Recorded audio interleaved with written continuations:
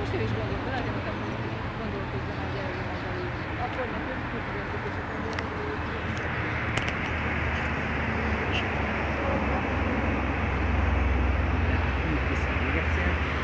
ne jöttől konkrétan minél hamarabb jöjjön ide, odaadjuk a kocsmés kulcsot, és utána